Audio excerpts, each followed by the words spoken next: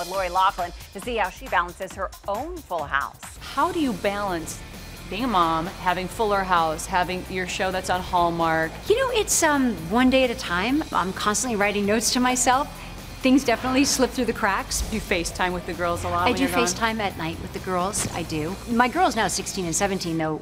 Even when I'm home, I don't put them to bed. They're up way later than I am. Like nine o'clock, I'm like, I gotta go to bed. They need to come and sing you lullabies. exactly. They need to tuck me in. Talk about a fuller house. The 51 year old married mom of two is still finding time to rock those abs while bouncing between LA and Vancouver for her Hallmark show, When Calls the Heart. The season finale is this Sunday. Get everyone out of here. We've got to get away from the river. It's so so good. And and um, and Brooke Shields is guest starring on our finale too. Mom, in the flesh. And I've known her since we were 11 years old. We started we started modeling together. So yeah, such a treat to work with her.